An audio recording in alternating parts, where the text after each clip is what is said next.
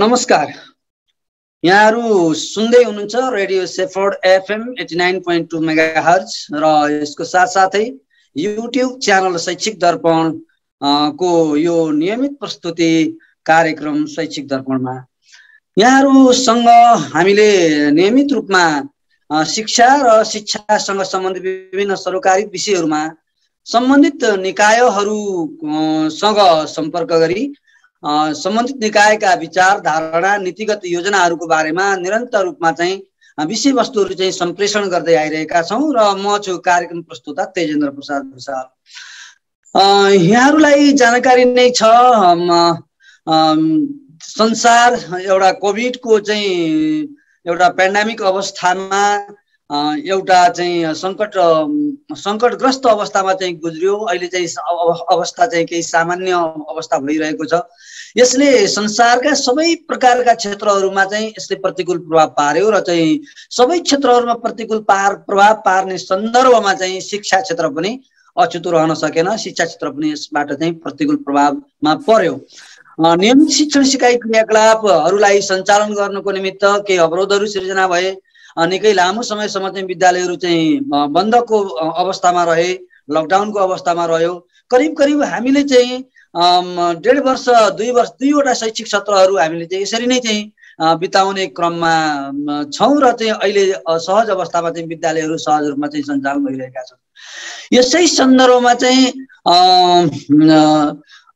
खास गरेर यो पेन्डामिकको अवस्थामा चाहिँ विद्यालयको शिक्षाको चाहिँ अथवा चाहिँ विभिन्न शैक्षणिक संस्थाहरूले शिक्षण सिकाइ क्रियाकलापलाई चाहिँ कसरी वैकल्पिक विधिबाट चाहिँ शिक्षण सिकाइलाई व्यवस्थापन गर्न सकिन्छ सहजीकरण गर्न सकिन्छ भन्ने सम्बन्धमा विभिन्न विचार विभिन्न विधिहरू विभिन्न चाहिँ योजनाहरू विभिन्न नीतिहरूको निर्माण भयो र ती नीतिहरू चाहिँ संसारभर कार्यान्वयन भयो नेपालमा पनि कार्यान्वयन भयो। यसै सन्दर्भमा हामीले चाहिँ विशेष गरी पेन्डामिकको अवस्थामा चाहिँ वैकल्पिक सिकाइ सहजीकरणसँग सम्बन्धित चाहिँ गतिविधिहरू हामीले चाहिँ कसरी सञ्चालन गऱ्यौँ? त्यसका परिणामहरू के भए? कस्ता विधिहरू अवलम्बन गऱ्यौँ? त्यसको चाहिँ परिणामको चाहिँ बाट हामी सन्तुष्ट छौँ कि छैनौँ? अथवा वैकल्पिक सिकाइ सहजीकरणको विधि चाहिँ सङ्कटकालीन अवस्थामा मात्रै प्रयोगमा आउने हो त्यसको प्रयोजन हुने हो वा चाहिँ सामान्य अवस्थामा पनि यसलाई हामीले चाहिँ प्रयोग गर्न सकिन्छ भन्ने सन्दर्भमा हामीले केन्द्रित रहेर चाहिँ आज हाम्रो यो कुराकानीलाई चाहिँ अगाडि बढाउनेछौँ। र आज चाहिँ हाम्रो यो सन्दर्भमा कुराकानी गर्नको निमित्त नेपाल सरकार शिक्षा विज्ञान तथा प्रविधि मन्त्रालय शैक्षिक गुणस्तर परीक्षण केन्द्र सानोटिमी भक्तपुर का आदरणीय शाखा अधिकृत एवं सङ्कटकालीन सङ्कटकालमा पेन्डामिकको अवस्थामा वैकल्पिक सिकाइ सहजीकरणसँग सम्बन्धित विभिन्न गतिविधिहरूमा संलग्न रही एउटा चाहिँ अभियान सञ्चालन गर्नुभएको अभियानकर्ता आदरणीय देवीराम आचार्यज्यू हामी हाम्रो साथमा सम्पर्कमा हुनुहुन्छ। सर्वप्रथम मैले यहाँलाई हाम्रो यस कार्यक्रम शैक्षिक दर्पणमा हार्दिक स्वागत गर्दछु। हस् नमस्कार धन्यवाद। अब अभियानैकर्ता भन्दा त कति सुहाउला जे होस्।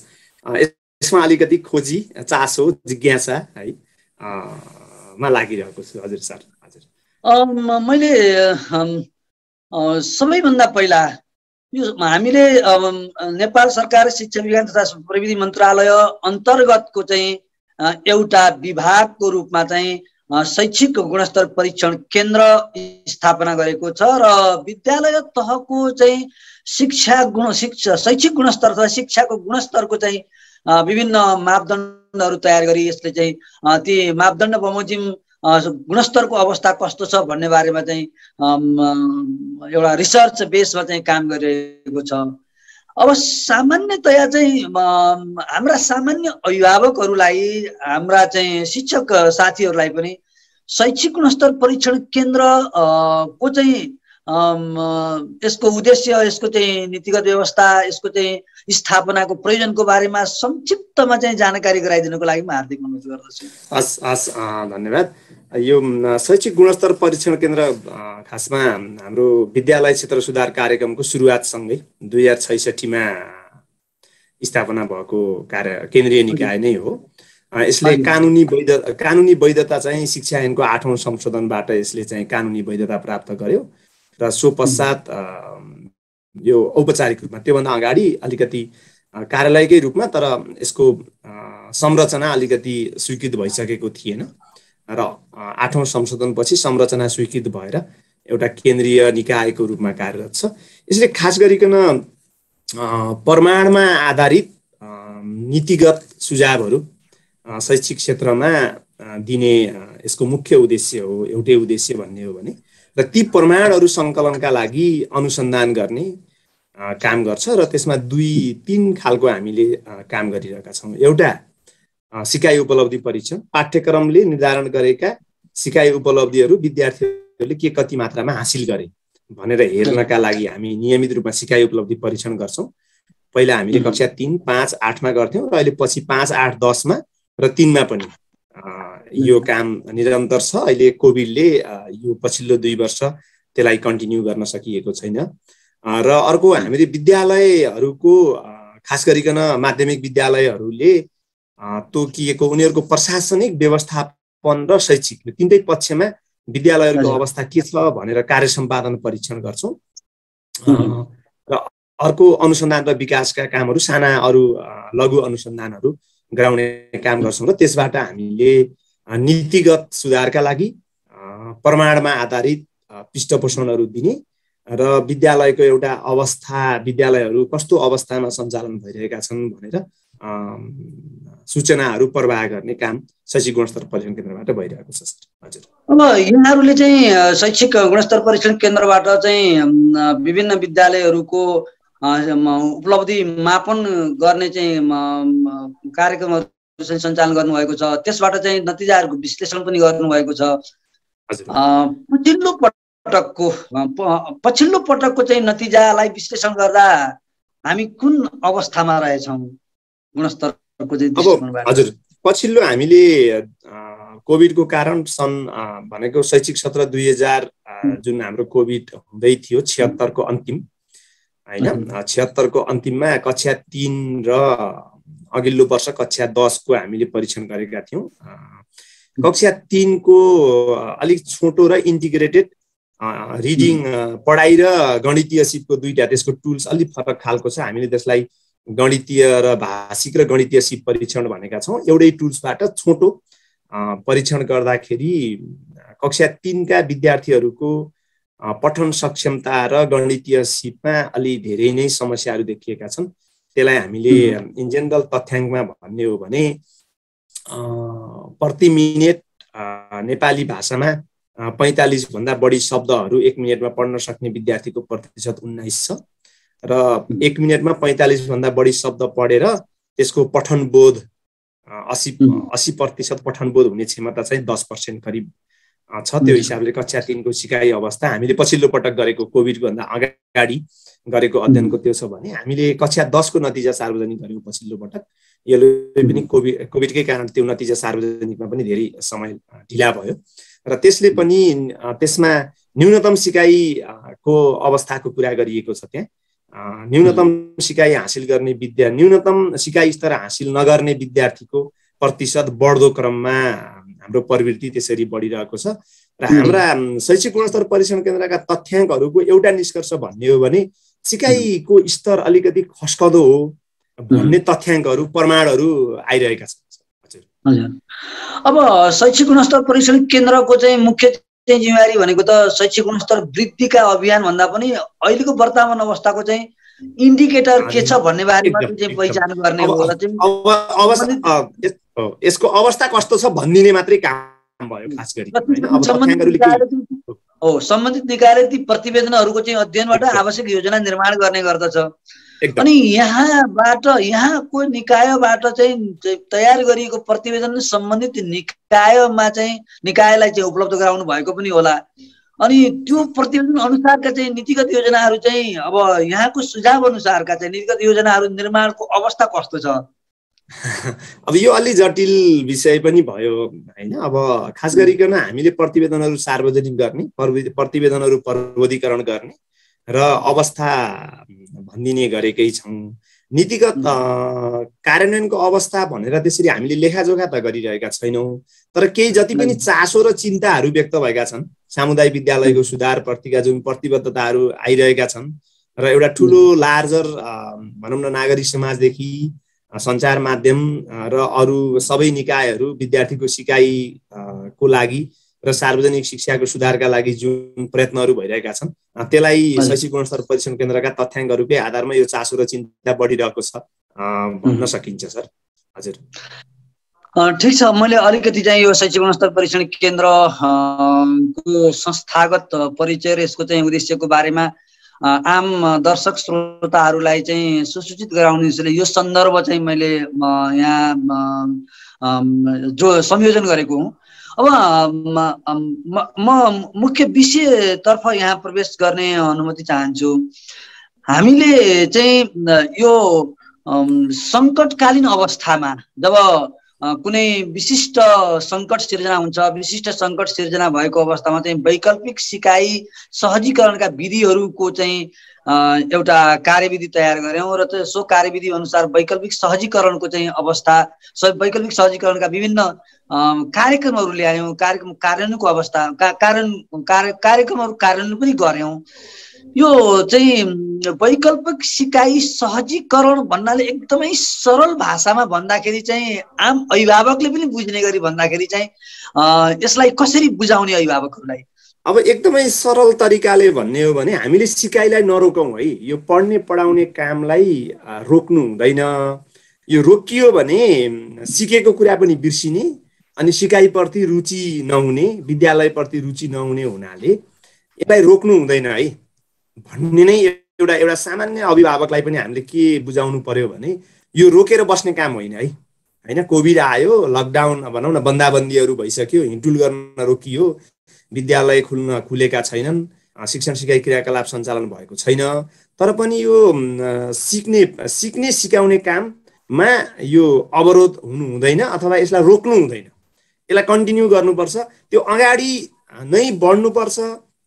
त्यसलाई कोर्स नै सकाउनुपर्छ। त्यसको किताबै पढाउनुपर्छ। किताबमा भएको पाठलाई नै निरन्तर दिनुपर्छ भन्ने भन्दा पनि विद्यार्थीको शिक्षण सिकाइलाई उनीहरूको पढ्ने रुचिलाई शिक्षकसँगको सञ्चारलाई विद्यालयसँगको उनीहरूको सम्बन्धलाई उनीहरूको किताबसँगको भनौँ न किताब र कापी कलमसँगको पढ्ने उनीहरूका मेट सामग्रीसँगको त्यो जुन सम्बन्ध छ त्यो नछुट्याउने काम नै यो सङ्कटकालीनको शिक्षण सिकाइको अवधारणा हो खास गरिकन।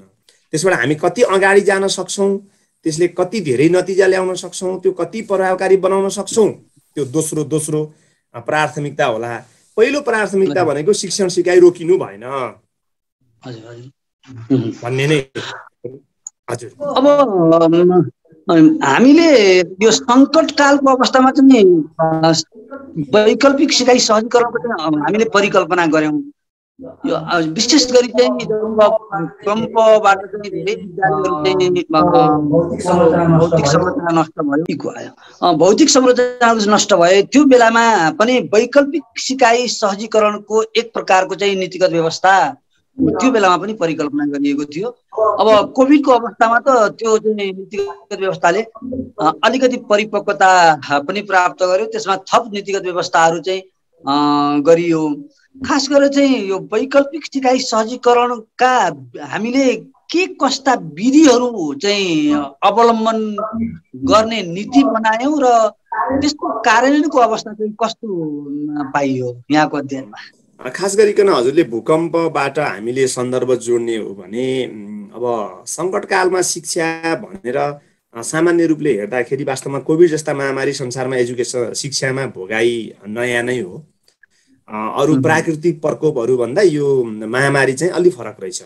अब भूकम्पले विद्यालयहरू क्षति गरेको थियो घरहरू क्षति भएका थिए त्यहाँ मानिसलाई मनोसामाजिक ठुला समस्याहरू थिए मान्छेका परिवारहरूका पीडाहरू थिए होइन सम्पत्ति लस भएका आफन्तहरूको लस भएका पीडाहरू थिए त्यो अलिकति फरक चिज थियो भने।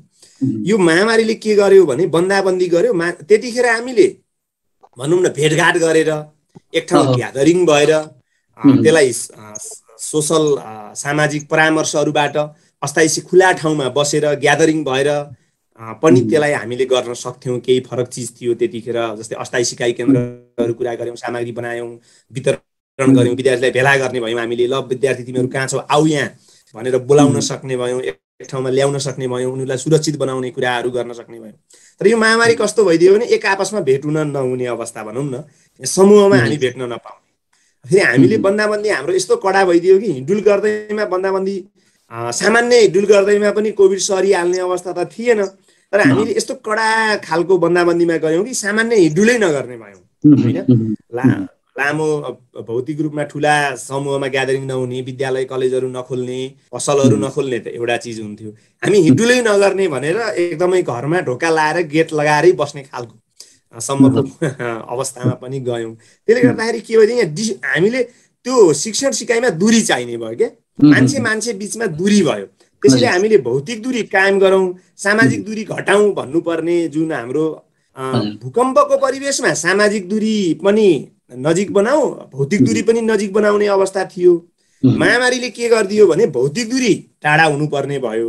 सामाजिक दूरी मात्रै हामीले अथवा हाम्रा सम्बन्धका दूरीलाई मात्रै नजिक बनाउनु पर्ने त्यसले गर्दा अरू बेलाको प्राकृतिक प्रकोपसँग गरेका काममा यो महामारीकोले अलिकति टाइअप अथवा यसले सोझो सम्बन्ध राख्दो रहेछ। एउटा अनलाइनबाट गर्नेलाई हुन्थ्यो। फेरि त्यो त्यसले पनि त्यो महामारीको बेला अनलाइन भन्दा पनि भौतिकमै बढी जोड गर्नुपर्ने रहेछ। त्यसले गर्दाखेरि खास गरिकन हाम्रो तयारीको हिसाबले भन्ने हो भने यस्तो खालको महामारीका लागि हामी तयार भएका रहन्छौँ होइन? खास गरी विद्यालय शिक्षामा। अब हामीले जुन खालका विधि र पद्धतिहरूलाई कुराकानी गऱ्यौँ जुन हामीले वैकल्पिक सिकाइका कार्य ढाँचाहरू जारी गऱ्यौँ त्यसमा हाम्रा केही संरचनागत समस्याहरू रह्यो। त्यो भने हामीले टिचिङ शिक्षण सिकाइ क्रियाकलापलाई कन्टिन्यू गरौँ निरन्तर गऱ्यौँ त भन्यौँ तर त्यो शिक्षक कहाँ छ विद्यार्थी कहाँ छ अनि शिक्षकले के गरिरहेको छ विद्यार्थीले के गरिरहेको छ भन्ने सूचनाहरू चाहिँ हामीसँग रहन्छ।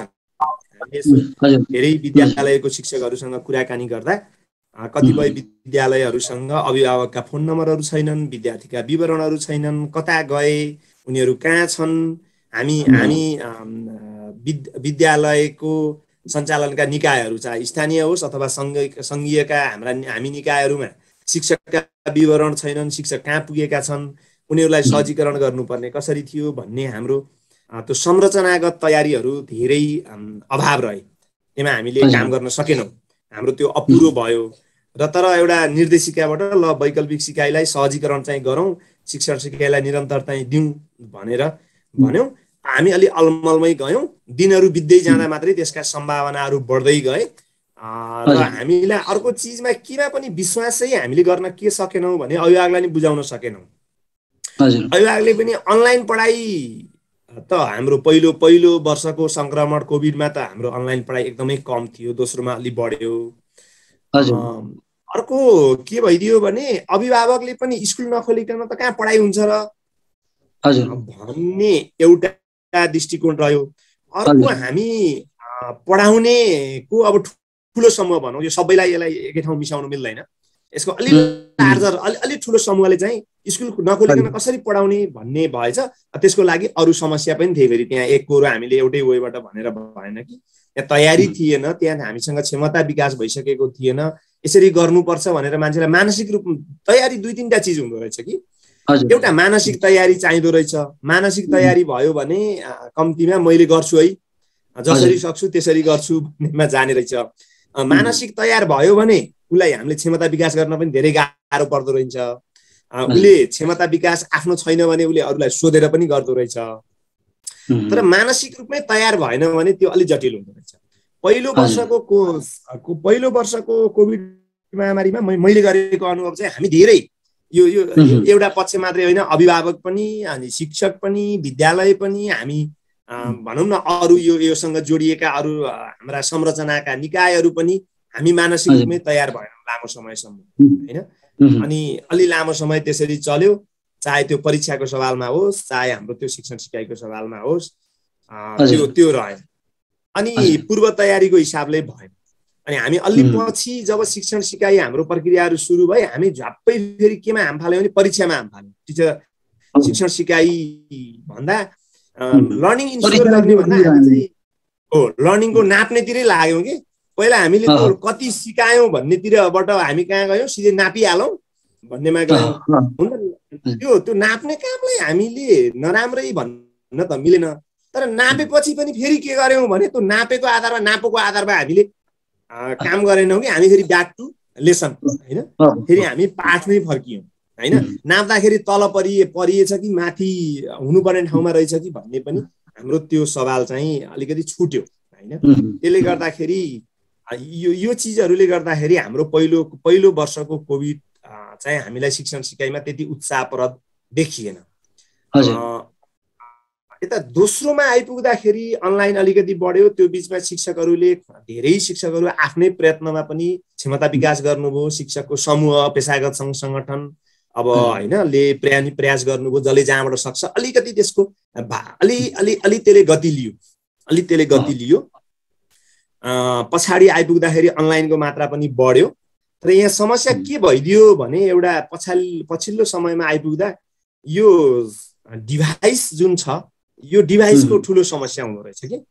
अब घरमा ज किन भन्दा हरेक बच्चालाई छुट्टा छुट्टै डिभाइस चाहियो। इन्टरनेट हुनु खासै समस्या रहन्छ। इन्टरनेट भन्दा ठुलो समस्या चाहिँ के रहेछ भने डिभाइसको रहेछ होइन। त्यसले गर्दाखेरि हामीले पछि चाहिँ त्यो अलिकति कता कता यो वान साइज फिट्स अल भन्ने जुन एउटा अङ्ग्रेजीमा नि के एउटै साइजको जुत्ता लाउने सबैलाई भन्ने छ। हामी कता कता त्यतातिर अलिक बढी अलमल गऱ्यौँ कि एउटै साइजमा हामी फिट गराउन खोज्यौँ कि भन्ने पछिल्लो पटकको मेरो अनुभूति रह्यो सर। यसै यसै यसै सन्दर्भमा चाहिँ अब खास गरेर हामीले पहिलो कोभिडको चाहिँ पहिलो चरणमा चाहिँ जब चाहिँ लकडाउनको अवस्थामा हामीले जे जे विधि अवलम्बन गऱ्यौँ त्यो भनेको चाहिँ हामीलाई आइपरेको चाहिँ संसारभरलाई आइपरेको चाहिँ एउटा चाहिँ अकस्मात सङ्कट थियो र त्यसलाई चाहिँ सही ढङ्गले चाहिँ जसरी व्यवस्थापन गर्न सकिने थियो त्यति सकिएन। दोस्रो पटकको चाहिँ अवस्थामा त हामी पहिलो अवस्थाबाट चाहिँ केही कुरा चाहिँ लर्निङ गरिसकेका थियौँ। त्यसबाट केही नीतिगत योजना पनि बनि आधारभूत नीतिगत योजना पनि बनिसकेका थिए। तर दोस्रो पटकको चाहिँ वैकल्पिक सिकाइ सहजीकरणको सन्दर्भमा राज्यले नीति बनायो राज्यले नीति बनाएर चाहिँ निर्देशिका पनि जारी गर्यो। निर्देशिकाहरू अनुसार चाहिँ निर्देशन पनि चाहिँ सम्बन्धित चाहिँ निकाय विद्यालयहरूलाई प्रदान गरियो। तर चाहिँ त्यो बमोजिम चाहिँ शिक्षकहरूले चाहिँ त्यो मर्म बमोजिम चाहिँ त्यो सिकाइ सहजीकरण वैकल्पिक सहजीकरणलाई चाहिँ सिकाइको वैकल्पिक सहजीकरणलाई कार्यान्वयन गर्ने अवस्था शिक्षकहरूको चाहिँ दृष्टिकोणबाट शिक्षकहरूको चाहिँ लेभलबाट कति तयारी भएको कति मानसिक रूपमा चाहिँ शिक्षकहरू तयारी भएको चाहिँ अवस्था थियो। यहाँको चाहिँ मूल्याङ्कन मेरो मेरो आफ्नो बुझाइले हुन त मेरा मसँग प्राप्त भएका सूचनाहरू पनि सबै अपर्याप्त हुन सक्छन् मैले अध्ययन गर्दा खास गरिकन कस्तो भयो भने हामीले पहिलो वर्षको विद्यालय खुल्ने क्रम सबैभन्दा पछिल्लो पटक माघसम्म आइपुगेका थियौँ। होइन? अगाडिबाट सर्दै सर्दै माघसम्म आइपुगेका थियो। हामीले त्यहाँनिर एउटा गरेको अब मेरो यो व्यक्तिगत विषय पनि हुनसक्छ होइन? शैक्षिक सत्रलाई हामीले असार भनेर जतिखेर तोक्यौँ त्यो माघलाई खुल्ने माघमा केही विद्यालय खास गरी काठमाडौँको महानगरमा माघबाट सबैभन्दा पछिल्लो पटक विद्यालय खुलेको सूचना छ। माघबाट खुल्नेले पनि असारमा शैक्षिक सत्र सकाउने भन्नेमा हाम्रो गयौँ र कतिपय ठाउँमा हामीले असोजतिरबाट विद्यालय खुलेका थियौँ। पहिलो पहिलो वर्षको। कोभिडमा असोजबाट विद्यालय खुल्नेको पनि शैक्षिक सत्र जेठमै सकिनु सकिने अवस्थामा हामीले मैले यस अगाडि नै भने जस्तो एउटै साइजको जुत्तामा हामीले फिट गऱ्यौँ। त्यसले गर्दाखेरि सिकाइको त त्यहाँ ठुलो एउटा भिन्नता त निश्चित रूपमा देखियो नै। अनि अर्को पहिलोबाट हामी दोस्रोमा आइपुग्दासम्म के चाहिँ हामीले गर्न नसकेको अब कहिलेकाहीँ एउटा भनाइ छ अब यसलाई हामीले यो बहसमा ल्याउँदाखेरि अन्यथा अर्थ नलाग्ला। कार्यान्वयन इम्प्लिमेन्टेसनमा धेरै राम्रो योजना र नीति पनि ले कक्षा कोठामा सुधार ल्याएन भने त्यसलाई धेरै राम्रो कसरी मान्ने होइन? हाम्रो दस्तावेजहरू दस्तावेजहरूले निर्देशिका भनौँ नीति भनौँ हाम्रा प्रोभिजनहरू अथवा हामीले भनेका केही ढाँचाहरू आफैमा नराम्रा केही पनि थिएनन्। हजुर। तर त्यो जानेर गएर त्यसले आफ्नो काम गर्नुपर्ने हो जानेर गएर त्यसले नतिजा देखाउनु पर्ने हो त्यो ठाउँमा त्यो नपुगेपछि त्यसलाई हामीले कसरी राम्रो भन्ने भन्ने एउटा सन्दर्भ रह्यो क्या। अब शिक्षकहरूमा दुई खालको अवस्था देखियो। एउटा शिक्षक आफैसँग पनि डिभाइस छैन। होइन एउटा चाहिँ हामीसँग आफैसँग पनि डिभाइस छैन। हामीले हाम्रा मोबाइलले अनलाइन पढाउन कति सम्भव छ वाइफाईको एक्सेस कति छ त्यो दोस्रो चिज भयो। अर्को हाम्रो तयारी छैन होइन। हामी तयार भइसकेका छैनौँ। अर्को हामीसँग सिप पनि कहिलेकाहीँ अभाव छ। हामीले गर्न त बल धेरै गऱ्यौँ तर पुगेन के भने अनलाइन शिक्षण र हाम्रो कक्षा कोठाको शिक्षणमा ठुलो भिन्नता ल्याउन सकेनौँ क्या। अनि धेरै शिक्षकहरूले मसँगको कम्युनिकेसनमा भन्नुभएको के हो भने बच्चा अनलाइन आउँदैन त होइन? वा उता म्यासेन्जर फेसबुकमा म्यासेन्जरमा अहिले भर्खरसम्म एक्टिभ थियो। यता आएन। अथवा आएको त थियो बोल भन्यो भने ऊ चाहिँ के गर्यो नेट डिस्कनेक्ट भयो उसको। होइन? यो यो खालको चिजहरू भयो र कहिलेकाहीँ हामीले कस्तो पनि कुरा गऱ्यौँ भने हामीले अनलाइन पढाएकै छौँ। तिमी आउने भयो अनलाइन आऊ नआउने भयो हामी के गरौँ त भन्नेमा पनि हामी हाम्रा ढाँचाहरू गयो के? वास्तवमा उसँग अनलाइन मैले यो त कस्तो रहेछ भने अलि पहिला अधिकारमा आधारित जस्तो कुरा हामीले स्कुल खोलेकै छौँ। अब तपाईँहरूलाई स्कुल आउनु मन छ भने आउनुहोस् भने जस्तो जस्तो देखा पर्यो। ऊ वास्तवमा डिभाइस नभएर नआएको हो कि? होइन उसँग के छैन र ऊ अनलाइन आएको छैन भन्ने हामीले दोस्रोमा पनि ध्यान दिन सकेनौँ। मसँग भएको केही तथ्याङ्कले के भन्छ भने सहरी क्षेत्र र ग्रामीण क्षेत्र देशभरिको अवस्था हेर्ने हो भने हामीले सामुदायिक विद्यालयका करिब बिस पर्सेन्ट बढीमा बिस पर्सेन्ट जति विद्यार्थीलाई मात्रै अनलाइनमा ल्याउन सकेको अवस्था हो। अब टेक्नोलोजीलाई हेर्ने हो भने दुई खालको रहेछ कि सर अब? एउटा चाहिँ उच्च स्तरीय प्रविधि होइन उच्च स्तरको प्रविधिबाट अनलाइनलाई डिस्टेन्स लर्निङमा जाने एउटा चाहिँ निम्न स्तरको प्रविधिबाट हामी डिस्टेन्स लर्निङमा जाने रहेछ र अर्को चाहिँ प्रविधिको प्रयोगै नगरिकन जाने तिनवटा एप्रोचहरू खास गरिकन सङ्कटकालको बेला देखिने रहेछ। एउटा हाई हाई लेभलको टेक्नोलोजी प्रयोग गरेर जान सकिन्छ। दोस्रो चाहिँ एउटा लो लो टेक भन्छौँ हामी लो भनेको निम्न स्तरको टेक्नोलोजी त टेक्नोलोजी नै हो तर त्यो अलिकति निम्न स्तरको टेक्नोलोजी प्रयोग गरेर जान सकिन्छ। र अर्को चाहिँ टेक्नोलोजी नै प्रयोग नगरिकन जान सकिने अवस्थाहरू रहेछ अब हाई टेक्नोलोजी चाहिँ हाम्रो जस्तो कन्ट्रीहरूको लागि हाम्रो भूगोल हाम्रो तयारी हाम्रा साधन स्रोत हाम्रा सीमितता भएको सीमिततालाई त गर्न केही सकिएन। त्यसले गर्दा उच्च स्तरको प्रविधिमा हामीलाई गाह्रो छ होइन? हामीले दुईवटा एप्रोच खास गरिकन निम्न स्तरको प्रविधि र नो लो टेक र नो टेकबाट हामी अगाडि बढ्नु पर्ने नै हो। अझै पनि हाम्रो तयारी विगतमा पनि पर्याप्त भएन। र अझै पनि केही गरी फेरि भोलि अप्ठ्यारो अवस्था आइहाल्यो भने ठ्याक्कै यो गर्ने भन्ने तयारीतिर हामी अझै अझै बढ्न सकेका छैन।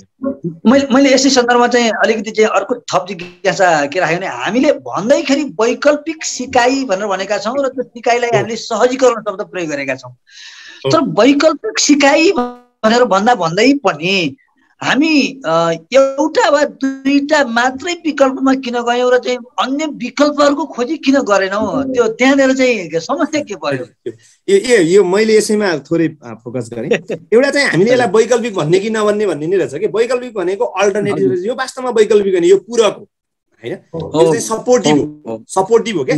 मेन स्ट्रिम हामीले मेन स्ट्रिममा स्कुलमा गर्न नसक्दा अब साइडबाट गर्ने काम हो नि त यो होइन? यसलाई हामीले अल्टरनेटिभ भन्दा बाहिर बाहिर चाहिँ डिस्टेन्स भने धेरैले हामी कहाँ अल्टरनेटिभ भन्यौँ होइन? बाहिर चाहिँ डिस्टेन्स भनेको मैले धेरै लिट्रेचरहरूले त्यसो भन्छ। डिस्टेन्स लर्निङ नै भने डिस्टेन्स लर्निङ इन कोभिड भयो होइन? त्यो भनेको दूरी कायम गरेर हामीले शिक्षण सिकाइ गर्ने भनेर सजिलो तरिकाले बुझे पनि हुन्छ होइन? त्यो शिक्षा भनेरै टाढाबाट दिने भन्दा पनि दूरी कायम गरेर दिने शिक्षाको रूपमा बुझ्यौँ भने सजिलो हुन्थ्यो क्या होइन? अनि हामीले यो वैकल्पिक भन्ने शब्द मा पनि कहिलेकाहीँ हुन त शब्दको उसमा नलाग्दा पनि हुन्छ तर यो वैकल्पिक भन्दा पनि यो पूरक थियो सहयोगी हो होइन? साइड बाई साइड जाने हो। साइड बाई साइड जाने हो यसलाई वैकल्पिक मात्रै भन्नुभन्दा नि पूरक एउटा। अर्को चाहिँ यतिखेर दुइटा चिज हामीले ज्यादै ध्यान दिनुपर्ने कुरा मैले सुरुमा पनि राखेको थिएँ। यतिखेर बच्चाको टिचिङ लर्निङलाई क्वालिटीको बनाउँछु यसलाई जान्ने नै बनाउँछु यो पाठ सकाइ नै हाल्छु यो किताब त पढाएर सकाउने नै हो भन्ने भन्दा पनि त्यसले अहिलेसम्म सिकेर आएको कुरालाई लस हुन नदिने। सकिन्छ भने त्यसमा अलिकति एड गर्दै जाने कति सकिन्छ। सकिन्न भने पनि एटलिस्ट अहिलेसम्म सिकेर आएको चिजलाई मैनसतिर जान चाहिँ दिन्न यसलाई पछाडि धकेलिन रोकौँ भन्नेमा हामी लागेको भए सायद हामी धेरैलाई कभर गर्छौँ। हामी त्यो नलागेर पाठ एक नै जाने पाठमा भएको चिजै पढाउने त्यसैको जाँचै लिइहाल्ने पछि हामीले तराईमासी परीक्षा लिनुपर्ने छ। यहाँ त पाठ त बिस पर्सेन्ट त पहिलो तराईमासीलाई त सकाउनै पर्ने छ। एउटा ढाँचा अर्को ढाँचा हामीले कहाँनिर यहाँनिर सबैलाई कभर गर्न कहाँनिर सकेनौँ भने मैले हामी विद्यालयमा पनि तह र मैले यो फोन लर्निङमा पनि कुरा गरिरहेको थिएँ। यो तह र विषयबाट पनि माथि उठेनौँ कि हामी म गणित पढाउनेले गणित बाहेक अरू मेरो मेरो जिम्मेवारी होइन। होइन? म नेपाली पढाउँछु मैले अरू सोसलको कुरा जान्दिनँ त्यसो भन्दा पनि मसँग कुनै बच्चा जोडिएको छ भने उसलाई मैले सक्ने। हुनसक्छ ल नेपालीले गणित पढाउन सक्दिनँ। तर नेपाली पढाउने म एकजना शिक्षकले सामाजिक अध्ययन त मैले सहजीकरण गर्न सक्छु नि। यतिखेर मसँग एउटा विद्यार्थी अहिले जोडिरहनु भएको छ। हजुर र म जोडिए जस्तै भने। यतिखेर मैले नेपाली मात्रै मेरो नेपाली हो मलाई अरू थाहा छैन। अथवा मेरो मावि हो मैले निमाविको विद्यार्थी जान्दिनँ होइन? अथवा म निमाविको शिक्षक हुँ मलाई पराविको विद्यार्थीको बारेमा थाहा छैन। यो यो हाम्रो यो विषयगत र तहगत यो जुन एउटा संरचना थियो यसले पनि मलाई यो वैकल्पिक सिकाइमा अप्ठ्यारो पारेको हो कि भन्ने मेरो अनुभव रह्यो क्या। किनभने त्यो विद्यार्थीसँग जोडिरहँदा त्यसैको भाइ छ सानो कक्षामा पढ्ने अथवा विद्यालय एउटा होल विद्यालयको वैकल्पिक सिकाइ भन्दा नि मेरो विषयको वैकल्पिक सिकाइ मैले त पढाइरहेको छु अब अरू त के गरौँ र मैले सकेको गरेको छु। अनि सकेको गर्नु गरेकालाई त अब त्यो हामीले अन्यथा उहाँ भन्नुपर्ने कुरो केही पनि भएन। तर हाम्रो सामूहिक जिम्मेवारीको रूपबाट गएर कहाँ गयो भने इन्डिभिजुअलले आफ्नो रेस्पोन्सिबिलिटी पुरा गर्नेमा गयो क्या तर कोभिड यस्ता यस्ता कन्टेक्सहरूमा यस्ता सङ्कटका कन्टेक्सहरूमा इन्डिभिजुअल जिम्मेवारीले पुरा गर्नु खास गरी। यहाँले भर्खरै चाहिँ रेडियो ट्युन गर्नुभएको छ भने यहाँहरूले सुन्दै हुनुहुन्छ radio Seaford FM eighty nine point two megahertz र यो कार्यक्रम रेडियोबाट शैक्षिक दर्पणको आइडीबाट चाहिँ प्रसारण हुने गर्छ साप्ताहिक रूपमा। र यो कार्यक्रमलाई यहाँहरूले युट्युब च्यानल शैक्षिक दर्पण र फेसबुक पेज शैक्षिक दर्पणबाट पनि प्रत्यक्ष रूपमा चाहिँ हेर्न र सुन्न सक्नुहुनेछ। आज हामीसँग विशेष गरी यो वैकल्पिक सहजीकरणको सन्दर्भमा यो विषयमा केन्द्रित रहेर हाम्रा विगतका अनुभव वर्तमान अभ्यासहरू र आगामी योजनाहरूको के कस्ता कार्यक्रमहरू भए र के कस्ता योजनाहरूको आवश्यकता पर्छ भन्ने सन्दर्भमा कुरा गर्दैछौँ र आज हामीसँग हुनुहुन्छ आदरणीय आचार्य जो शैक्षिक गुणस्तर परीक्षण केन्द्र को शाखा अधिकृत हुनुहुन्छ। उहाँसँग हामीले चाहिँ यो सन्दर्भमा कुराकानी गर्दैछौँ। मैले सरसँग अर्को एउटा चाहिँ जिज्ञासा राखेँ। हामीले वैकल्पिक सिकाइ अब शब्दको हामीले अहिले जे शब्द प्रयोग गरिरहेका छौँ त्यही शब्द नै प्रयोग गऱ्यौँ गरौँ। किनकि नीतिगत रूपमा जे शब्द प्रयोग गरेको छ त्यही शब्द प्रयोग गरौँ। वैकल्पिक सिकाइ सहजीकरण को सन्दर्भमा चाहिँ अवस्था आउनुभन्दा अगाडि पनि यसलाई कुनै न कुनै तरिकाले प्रयोग त भएको थियो होला। व्यवस्थित तरिका नभए पनि। यसको चाहिँ प्रारम्भिक स्वरूप कस्तो थियो र त्यो कस्तो स्वरूपबाट अहिले हामीले यसलाई परिष्कृत यो रूपमा ल्याएका छौँ? मैले चाहिँ यो सङ्कटभन्दा अगाडिको अवस्थाको कुरा गरेँ। खास गरिकन हजुर। खास गरिकन हामीले प्राकृतिक प्रकोपहरूमा अस्थायी सिकाइ केन्द्रहरू सबभन्दा बढी हाम्रो चाहिँ बाढी र भूकम्प। हामी कहाँ भएको चाहिँ बाढी र भूकम्पहरूमा अस्थायी सिकाइ केन्द्रहरूमा हामीले शिक्षण सिकाइलाई अलिकति च सञ्चालन गरेका थियौँ। हामीले अगाडि पनि थोरै कुरा गऱ्यौँ यो प्राकृतिक प्रकोपभन्दा यो महामारी चाहिँ अलिक फरक रहेछ। प्राकृतिक प्रकोपहरूमा हामी सँगै भेटेर शिक्षण सिकाइ गर्न सक्थ्यौँ। यतिखेर यहाँ दूरी कायम गर्नुपर्ने भएको हुनाले हामीले केवल रेडियो योभन्दा अगाडिदेखि नै हामीसँग भएका रेडियो र टेलिभिजनलाई एक हिसाबले हामीले तत्कालै तुरुन्तै पनि हामीले विभिन्न ठाउँमा स्थानीय सरकारहरू मार्फत पनि र केन्द्रबाट पनि रेडियो र टेलिभिजनले तत्कालै प्रोग्राम हाम्रो शिक्षण सिकाइ सुरु भयो पहिलो पहिलो लहरमै। तर रेडियो र टेलिभिजनका दुईटा रेडियोबाट पनि पढाइ हुन्छ भन्ने एउटा रेडियोप्रतिको हाम्रो त्यो दृष्टिकोण एउटा रहेछ। अर्को रेडियो सुन्ने प्रचलन बिस्तारै कम हुँदै गएको भन्ने अहिले अहिले पछिल्ला केही तथ्याङ्कहरू। पहिला जुन हाम्रा कम्युनिकेसनका सञ्चारका माध्यमहरू जुन थोरै थिए हामी पनि सानो छँदा सर हामी हाम्रो अलिक हामी बाल बाल्यकालमा हुँदा रेडियो अलिक बढी प्रचलनमा थियो। अहिले रेडियोको त्यो प्रचलन घटेको रहेछ। अर्को रेडियोको पाठहरूलाई हामीले वान वे सुनाउने मात्रै गऱ्यौँ। त्यहाँ चाहिँ स्थानीय तवरले त्यहाँ क्विजहरू राख्ने त्यसलाई लाइभ इन्ट्रेक्टिभ बनाउने अनि त्यस पछाडि रेडियो रेडियोबाट पाठ बजेपछि शिक्षकहरूले विद्यार्थीले रेडियो सुने कि सुनेनन्?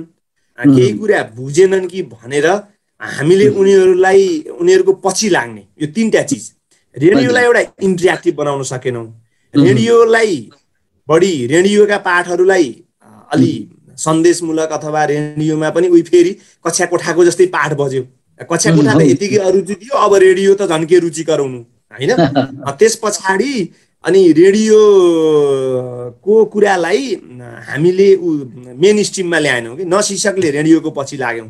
शिक्षक हामी कतिपय पहिलो वेबको कुरा गर्ने हो भने त शिक्षकलाई कुन कुन रेडियोमा के के बज्यो भन्ने पनि सूचनाबाट हामी अलिकति टाढा रह्यौँ। विद्यार्थीलाई पुर्याउन त टाढा रह्यौँ। कम्तीमा हामीले दिउँसो बिहान रेडियोमा पाठ बज्यौ भने दिउँसो चारजना विद्यार्थीलाई आज बिहान तिमीले रेडियो सुन्यौ कि सुनेनौ? सुन्यौ भने के सुन्यौ? त्यहीमा नबुझेको कुरा के थियो? मलाई सोध त अहिले। अथवा बुझेको कुरा के थियो? मलाई भन्न त अहिले। भन्न पाएको भए ए सरले फोन गर्नुहुन्छ सरले भेटे भेट्नु भने सोध्नुहुन्छ अथवा यो माध्यमबाट आउनुहुन्छ रेडियो सुन्नुपर्छ मैले भन्ने सन्देश जान्थ्यो। केही पनि भयो। रेडियो कहीँ बजिरहेछ? होइन? अब हामी कहीँ शिक्षकहरू हामी कतै आफ्नो हिसाबमा छौँ विद्यार्थी आफ्नै हिसाबमा छ रेडियो टेलिभिजनको पहुँचको सवाल भयो। टेलिभिजनले के गरेन? बिजुली चाहियो टेलिभिजन चाहियो ठुपुक्क बसेर हेर्नु पर्यो। अभिभावकको गुनासो के भने कार्टुन हेर्छ टिभीको प्रोग्राम हेर्दैन। अनि मैले कुनै बेला रमाइलो पनि गरेँ। कार्टुन हेर्छ भने कार्टुन जस्तै टिचिङ मेटेरियल बना बनाउने कि नबनाउने भन्दा फेरि टिभी पनि के भइदियो? त्यस्तै निरस भइदियो। वान एकरो भइदियो। त्यहीमा अन्तर्क्रिया भएन त्यहीमा इन्जोय भएन। अब खास गरिकन मैले ठ्याक्कै रिसर्चहरू त्यति धेरै म एकदमै यो एकुरेट सूचना भन्न सक्दिनँ।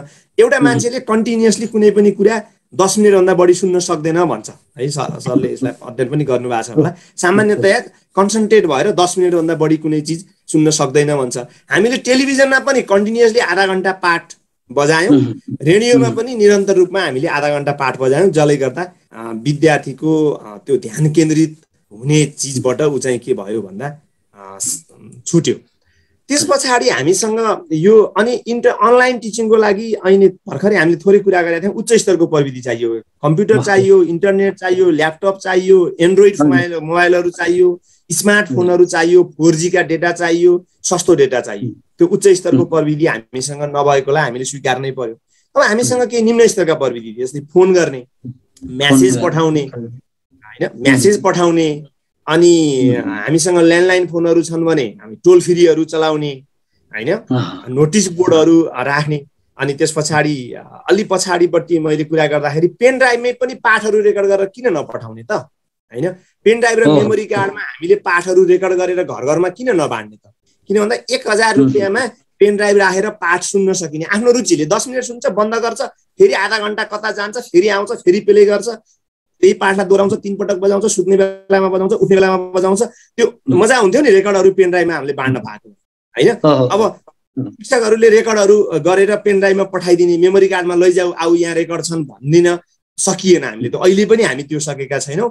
मैले सरले भन्नुभयो वैकल्पिक सिकाइका सन्दर्भमा केही फोनबाट सिकाउँ एसएमएस गरौँ पेन ड्राइभमा जाउँ मेमोरी कार्डमा जाउँ नोटिस बोर्डमा जाउँ आइभिआरमा जाउँ होइन टोल फ्रीमा जाउँ। यी लो टेक्नोलोजी जसले चाहिँ एक्सेस पुर्याउँछ आफ्नो रुचि अनुसार सुन्छ जसलाई जे रुचि हुन्छ त्यही सुन्छ। जे जे मन लाग्छ त्यही गर्छ। अनि त्यो सबै कामका लागि विद्यालयको टिम चाहियो। अहिले भर्खरै हामीले कुरा गऱ्यौँ नि व्यक्ति व्यक्ति भयो। मैले अङ्ग्रेजी पढाएको छु होइन? मैले एघार बाह्र पढाउने हो मेरो त एघार बाह्रमा त आएकै त छन्। दुई चारजना त आउँदैनन्। अनि मैले एघार बाह्र पढाउने हो एउटा कुनै मानव एकछिनको लागि श्री एक दुई तिन विद्यालय। होइन? एबिसी विद्यालयमा म एघार बाह्र पढाउँछु भने मैले एबिसी विद्यालयको कक्षा एकको बारेमा मैले चिन्ता नै गरिनँ क्या। होइन?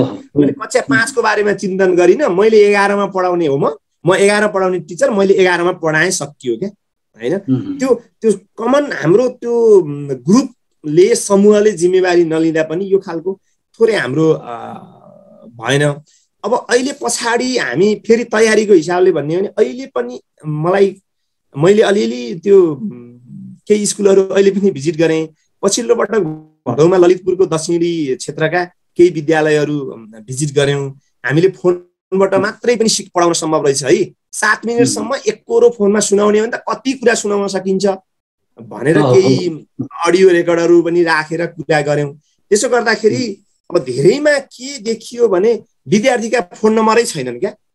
विद्यालयहरूसँग विद्या विद्यार्थीका फोन नम्बरै छैनन्। अब कहिले काहीँ तयारी पर्याप्त तयारी पर्याप्त भएनन्। पुग्दो पुग्दो छैन क्या हामीसँग। पुग्दो तयारी छैन होइन? अब एकछिनको लागि अहिले पनि अझै पनि विद्यालयहरूलाई मैले अहिले यही यहीँबाट पनि हजुरको यो कार्यक्रम मार्फत पनि अनुरोध के गर्दैछु भने एटलिस्ट हामीले चारवटा चिज कम्तीमा अहिले पनि हाम्रो जहिले पनि अपडेट अब अबका दिनदेखि के हुनु पर्यो भने त्यसको विद्यार्थीको कहाँ बस्छ त्यसको अभिभावकको पेसा र आम्दानी के हो? उहाँ उसको अभिभावकले के पेसा गर्नुहुन्छ र कति आम्दानी एउटा टेन्टेटिभली गर्नुहुन्छ? पेसाले एउटा डेट प्रेडिक्ट गर्न सकिन्छ। त्यसपछि घरमा बिजुली छ कि छैन? घरमा इन्टरनेट छ कि छैन? र टोलमा छ कि छैन? घरमा छैन भने टोलमा रहेछ भने जोड्न सम्भव हुन्छ होइन? डिभाइसहरू छन् कि छैनन्? डिभाइसहरू किन्न सक्ने सामाजिक आर्थिक अवस्था हो कि होइन? होइन? चितवनमै हाम्रो खैरेनीको एउटा सरसँग पनि जोडिनु भएको थियो होला। गोडसोर भन्ने आधारभूत विद्यालयमा उहाँहरूले फोनै खोजेर बाँड्नुभयो होइन? उहाँहरूले फोनै बाँड्नुभयो फोन बाँड्ने अभियानमा जानुभयो मसँग जोडिनु भएको थियो। भनेको हामीले अनि काठमाडौँको सहरी क्षेत्रका केही विद्यालयहरूले स्मार्टफोनहरू दिनका लागि सार्वजनिक रूपमा अपिल गरे। केही जम्मा भए। तर त्यतिले मात्रै त पुग्दैन हामीलाई होइन? त्यसले गर्दाखेरि हामीले तयारी अझै पनि चाहियो। भोलि कोभिड आयो भने मसँग यहाँ छ है मेरो प्लानमा। हरेक स्कुलसँग विद्यालयसँग पनि चाहियो। हरेक शिक्षकसँग पनि चाहियो। मेरो प्लान यहाँ छ हेर्नुहोस् होइन। अप टु डेट छ। कोभिड आयो भने मैले दसजना विद्यार्थी अनलाइन पढाउँछु। यिनीहरूसँग अनलाइनमा आउँछन्। बाँकी चारजना विद्यार्थी अनलाइन आउन सक्दैनन्। यिनीहरूलाई म रेडियोको सेड्युल पठाउँछु प्रत्येक दिन होइन? रेडियो सुन्छन् यिनीहरूले। अब यो रेडियो पनि नसुन्ने रेडियो पनि घरमा नभएको अवस्थाका लागि के गर्ने? अथवा रेडियो कालाई मैले रेडियो सुने सुनेनन् भनेर दुई दिन बिताएर मैले फोन गर्छु उनीहरूका लागि मसँग यहाँ फोन नम्बर छ होइन? अथवा मैले अरू चारजनाका लागि पेन ड्राइभमा स्कुलमा मैले त अब पाठ रेकर्ड गर्न थालिसकेँ। हाम्रो स्कुलमा कम्प्युटर ल्याब छ मानौ न? जहाँ जहाँ कम्प्युटर ल्याब छ अब शिक्षकहरूले पाठ रेकर्ड गरौँ होइन? कम्प्युटरमा सेभ गरेर राखौँ। भोलि भोलि कोभिड आयो भने ल पाठ लिएर जाऊ पेन ड्राइभ ल्याऊ पाठ लैजाऊ। अब कस्तो रहेछ भने त्यो ब्लुटुथमा एक हजारको एउटा रेडियोमा पेन ड्राइभ टक्क राखेपछि सर पाठ बच्छ एफएम रेडियो पनि बच्छ पेन ड्राइभ पनि बच्छ होइन? भनेपछि हामीले पेन ड्राइभ पनि दिएर अथवा मेमोरी कार्डै दिएर पनि सुनाउन सक्ने भयौँ। त्यो त्यो यसरी चाहिँ हाम्रा अब तयारी र भावी दिनका लागि र अहिले पनि हामी हामीसँग अब हामी देशैभरि वाइफाई पुऱ्याउन सक्दैनौँ। फेरि वाइफाई पुऱ्याउनु समस्या रहन्छ क्या परिवारमा जतिजना विद्यार्थी छन् उनीहरूका लागि त्यो समस्या त्यो खास समस्या उता रहेछ। हामीले चाहिँ वाइफाईको एक्सेस मात्रै बढाउनेतिर लाग्यो। अब अर्को मैले कोभिडको सङ्कटमा अझ अर्को चिज मैले म म अलिकति यसमा अन्यथा अर्थ नलागोस्। हामीले वैकल्पिक सिकाइको लागि विद्यालयमा कम्प्युटर दिँदैछौँ कि विद्यालयलाई कम्प्युटर दिएर हुँदो रहेछ। यता अप्ठ्यारो रहेछ कि? घर घरमा चाहिँदो रहेछ कम्प्युटर। घर घरमा चाहिँदो रहेछ मोबाइल। हो विद्यालयमा चाहिन्छ। विद्यालयमा चाहिन्छ। विद्यालयमा त नियमित बेलामा चाहिने होइन? तर अहिले त हामीलाई त घर घरमा चाहिएको। अझ मैले घर घरमा भएर भएन कि हरेक विद्यार्थीसँग चाहियो हेर्नु है। अब हामी हजुरले कसरी फिल गर्नु? मैले मेरै म यही हामी यहाँ बस्ने हामी जतिको लेभलको मान्छेलाई पनि के भयो भने हामी आफू हामी घरको दुईजना पनि अनलाइन भन्ने अफिस जाने के गर्ने? हामीलाई पनि डिभाइस चाहिएको छ।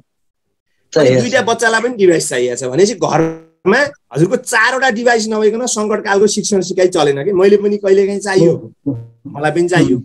अनि बच्चाहरूलाई पनि चाहियो। भन्दा चारवटा डिभाइस त कन्टिन्युली नभइकन एउटा घरमा हुँदो रहेछ भने दुईवटा तिनवटा बच्चा हुनेहरूको एउटा मात्रै डिभाइस हुनेहरूको एकदम अप्ठ्यारो छ। त्यसले गर्दाखेरि हामीले वैकल्पिक सिकाइमा अनलाइन मात्रै भनेर भएन तिनवटा चिजमा सँगसँगै जानु पर्यो। एउटा अनलाइन आउनेलाई के हो होइन? अनलाइनका लागि पनि हाम्रो तयारी चाहियो। जुममा किन आउँदैन? जुम किन आकर्ष जुममा किन मजा छैन क्या? मजा छैन भन्छ कि? बच्चालाई सोध्नु भयो भने सरले त्यही ताकिरहनुहुन्छ भन्छ बच्चाले। सिकाइलाई चाहिँ इन्टरटेन जब गर्छ बच्चा जब इन्टरटेन फिलिङ हुँदैन त्यसपछि ऊ चाहिँ स्केप हुनु खोज्छ। स्केप हुन खोज्छ। स्केप हुनलाई उसँग बाना छ। होइन? अब पर्याप्त बाना छ। स्कुलमा त कठ्या थियो होइन? हामीसँग ढोका थियो उठेर हिँड्न मिल्दैन थियो नि त। यहाँ त नेट गयो डेटा सकियो किन भन्दा रुचि नभएर हो। त्यसको खास अरू केही पनि होइन। एउटै शब्दमा भन्ने हो भने रुचि छैन। त्यसमा रुचि जगाउनलाई पनि हामीले लगानी थुप्रै गर्नु छ। अब मैले दुईवटा चिज यसमा के भन्छु भने इन्भेस्ट इन टिचर पहिला चाहिँ हामीले इन्भेस्ट इन टिचर गरौँ एउटा पहिलो काम। र सँगसँगै टिचरहरूले फेरि इन्भेस्ट इन प्रिपेरेसन के? होइन? एउटा सेक्टरले इन्भेस्ट इन टिचर टिचरमा इन्भेस्ट गर्नु छ भने सँगसँगै शिक्षकले फेरि इन्भेस्ट इन प्रिपेरेसन भनेको शिक्षक चाहिँ तयारीमा इन्भेस्ट गर्नु पर्यो। यो दुइटा चिजबाट हामी गयौँ भने हामीले निश्चित रूपमा अबका दिनमा आउने यस्ता सङ्कटहरूलाई सजिलै सामना गर्न सक्छौँ। मैले मैले मलाई त यो विषयमा चाहिँ यहाँले एकदमै विस्तृत रूपमा धेरै विषयहरू चाहिँ राखिसक्नु भएको छ। तै पनि आम अभिभावक र सरकारवाला पक्षहरूलाई सूचना र जानकारीको लागि मात्रै। हामीले विद्यार्थीहरूको चाहिँ वैकल्पिक सिकाइ सहजीकरणको लागि विद्यार्थीहरूलाई वर्गीकरण गर्यो। उनीहरूको चाहिँ पहुँचको आधारमा वर्गीकरण गर्यो। विद्यार्थीहरू इन्टरनेटमा पहुँचको अवस्था कस्तो छ? कम्प्युटरमा पहुँचको अवस्था कस्तो छ? टेलिभिजन पहुँचको अवस्था कस्तो छ? रेडियोमा पहुँचको अवस्था कस्तो छ र कुनै पनि प्रकारका चाहिँ यो चाहिँ सञ्चारका साधनहरूको पहुँच नभएका विद्यार्थीको अवस्था कस्तो छ त्यसको चाहिँ पहिचान गर्न विद्यालयहरूलाई निर्देशन गऱ्यौँ। विद्यालय मार्फत चाहिँ त्यो चाहिँ तथ्याङ्कहरू सायद चाहिँ कलेक्सन हुँदै हुँदै चाहिँ सम्बन्धित चाहिँ निकायसम्म पुगेको पनि होला त्यसको चाहिँ एउटा चाहिँ सिनारी पनि देखिएको होला। अहिले अब रेडियो टेलिभिजन कम्प्युटर इन्टरनेट भनेको त कुनै न कुनै साधन भए कुनै पनि साधन नभएका कुनै पनि प्रविधिको पहुँचै नभएका विद्यार्थीहरूको चाहिँ अहिलेको सङ्ख्याको अवस्था के रहेछ र सबैभन्दा चाहिँ वैकल्पिक सिकाइ सहजीकरणको लागि चाहिँ सङ्कटपूर्ण अवस्था भनेको त त्यो समूहको लागि हो। तिनीहरू केन्द्रित मैले मैले अरू कुरा गरिनँ अब। प्रथम अथवा सबै किसिमको प्रविधिको पहुँच बाहिर रहेका चाहिँ विद्यार्थीहरूको लागि चाहिँ अबका दिनहरूमा पनि गर्नुपर्ने चाहिँ उपाय र विधि के हुन सक्छ? अवस्था के रहेछ र अबका दिनहरूमा चाहिँ उपाय र विधि के हुन सक्छ? सामान्यतः एउटा तथ्याङ्कले के भन्यो भने अनलाइन टिचिङमा सामुदायिक शिक्षाबाट देशभरिको सिनारी सहरी क्षेत्रमा साठी पैँसठी सत्तरीसम्म जोडिएको पाइयो र ग्रामीण क्षेत्रमा त्यसको सङ्ख्या ज्यादै न्यून हुँदा र कतिपय विद्यालयमा मैले अब त्यो विद्यार्थीको भनाइलाई सत्यता मान्ने हो भने काभ्रेको एउटा नगरपालिका यो हाम्रो अरनिको राजमार्गमै भएको एउटा नगरपालिकाको सामुदायिक विद्यालयको एकजना विद्यार्थीले पन्ध्र दिन अगाडि मसँग के भन्नुभएको छ भने हामीले कुनै पनि अनलाइन वैकल्पिक विधि केही पनि पढायो भने स्कुल खुलेपछि हामी स्कुल आएको हो। तर स्कुल चाहिँ भदौबाट खुलेको रहेछ होइन? त्यो एउटा काभ्रेको सहरी क्षेत्रको माध्यमिक विद्यालयको अवस्थाबाट हामीले हेर्ने हो भने सिम्पल त्यो कम्प्युटर हुँदैमा वैकल्पिक सिकाइ भएन। इन्टरनेटै चाहियो अनलाइनका लागि। अरू भएन अब। किनभने कम्प्युटरमा हामीले अडियो रेकर्ड रेकर्ड गरेको सामग्री दिएको छैन होइन? अब बजाउनलाई अरू केही दिएका छैनौँ नि त त्यो हिसाबले। त्यो इन्टरनेट नभइकन मैले त दुइटा मात्रै समूह बनाउँदा हुन्छ जस्तो लाग्छ। एउटा अनलाइन आउने एउटा अनलाइन मेरो आफ्नो मेरो आफ्नो दृष्टिकोणमा दुइटा मात्रै समूह हुन्छ हामीसँग।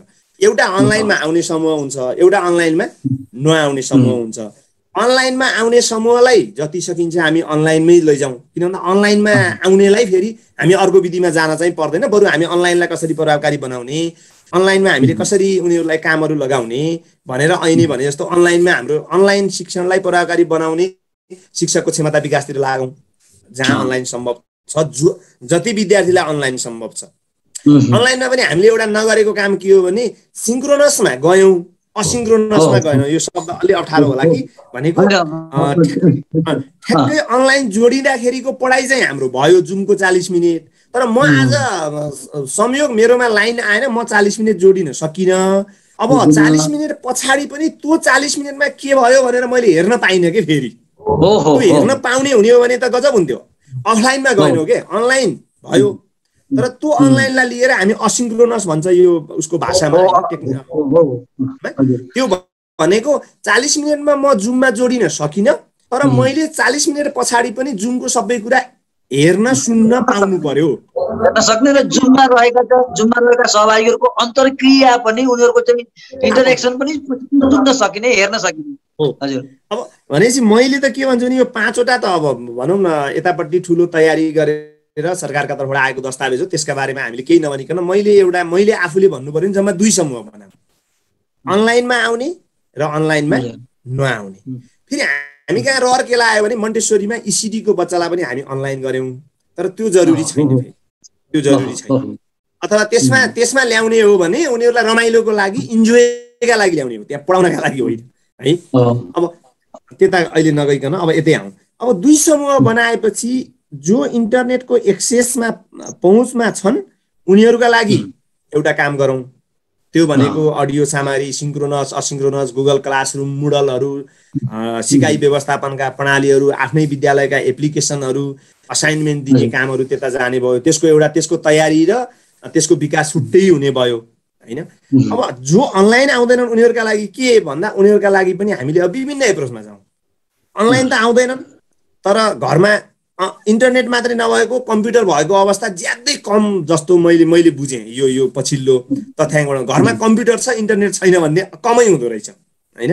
त्यसले गर्दाखेरि कम्प्युटर रहेछ भने पनि ठिकै छ। त्यसलाई हामी पढ्ने सामग्री सफ्ट कपीहरू विद्युतीय प्रति र सुन्ने सामग्री उसलाई दिनु पर्यो। पेन ड्राइभ अहिले हामीले भने जस्तो घरमा इन्टरनेट छैन कम्प्युटर छ भने ल पेन ड्राइभभरि हामीले उसलाई सुन्ने सामग्री र पढ्ने सामग्री दिनु पर्यो अनि दिएर हामी यता चुप्प लाएर बस्नु भएन के? उसले एक हप्तामा अथवा दस दिनमा हाम्रो र उसको भेट होस् कि कहीँ? एउटा भेनु तोकियोस् एउटा समय तोकियोस् समय अलिक कम छ हामीसँग। एउटा क्लिनिक मोडेल भनेर मैले पहिलो वर्षको कोभिडमा कुरा गरेको छु। त्यो भनेको जसरी बिरामीले डक्टरलाई दस मिनट भेटेर आफ्ना समस्या भनेर सल्लाह लिएर आउनुहुन्छ त्यसै गरी विद्यार्थीले पनि शिक्षकलाई आफ्ना समस्या सुनाएर आउनुहुन्छ भन्ने एउटा त्यो ढाँचामा गयौँ भने एक हप्ताका लागि हामी काम दिउँ आज भेटेर। एक हप्तापछि फेरि भेट्यौँ भने पो उहाँले बल्ल विद्यार्थीले मैले सरलाई एक हप्तापछि भेट्न जानु छ सरले यति काम दिनुभएको छ मैले यो गर्छु भन्नुहुन्छ। हामीले यताबाट दिइरहने अब उता के भयो हामीलाई थाहा छैन फेरि। त्यसले गर्दा कम्प्युटर हुनेहरूलाई त्यो हुनसक्छ।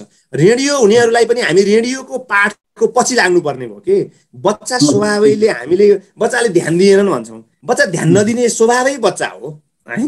ठुलो मान्छेले हायर एजुकेसनमा भर्ना भएकालाई ध्यान दिएनन् भन्नु पर्दैन नि। होइन? त्यसको त आफ्नो इन्मन स्वभाव हो त्यहाँ रुचि छैन त्यहाँ मजा छैन जहाँ मजा छ त्यहाँ ध्यान दिन्छ जसले पनि। होइन? हामीले पनि टेलिभिजनका कतिपय प्रोग्राम जेमा मजा आउँछ त्यतै हेर्छौँ नि त। होइन? त्यसरी नै हामीले बुझ्नुपर्छ कि विषयलाई र मजा हुने गरी हामीले त्यहाँ चिजहरू दिनु पर्यो। र मजा नहुने गरी दिएपछि पनि अब सबैमा मजा मिसाउन सकिन्न होला। होइन? त्यसो गर्ने हो भने हामी त्यसलाई पछि पछि लाग्नु पर्यो के? मैले अस्ति दिएको थिएँ तिमीले के गर्यो? खै ल्याऊ त मलाई देखाउ त सुनाउ त। त्यसका लागि त हामीसँग फोन छ। फोन नभएको अभिभावक भनेको ज्यादै थोरै हुनुहुँदो रहेछ। फोन नभएको अभिभावक हुँदो नै रहेछ भने हामी फोन नभएको अभिभावकलाई फोन दिन चाहिँ सक्ने रहेछौँ। किन भन्दा एक दुईवटा विद्यालयहरूले यो प्रमाणित एउटा विद्यालयमा आठ दसजना अभिभावक हुन सक्छन् बढीमा फोन नहुने। उनीहरूलाई आठ दस हजार जुट्न सक्ने अवस्था देखिन्छ। त्यसले गर्दा रेडियो गयो भने पनि हामी पछि पछि जानु पर्यो। टेलिभिजन रहेछ भने पनि हामी शिक्षक त्यसको पछि लाग्नु पर्यो। टेलिभिजन छैन रेडियो हो हो रेडियो छैन टेलिभिजन छैन कम्प्युटर छैन इन्टरनेट छैन भने पनि स्वअध्ययन सामग्री दिएर मात्रै पनि भएन के? स्वअध्ययन सामग्रीमा फेरि सपोर्ट चाहियो। अनि अब सानो बच्चाहरूका लागि अभिभावकलाई के गराउने भनेर हामीले टोल फ्री नम्बरहरूमा काम गर्न सकिन्छ। विद्यालयसँग ल्यान्डलाइन फोनहरू छन् भने नोटिस बोर्ड राख्ने। होइन?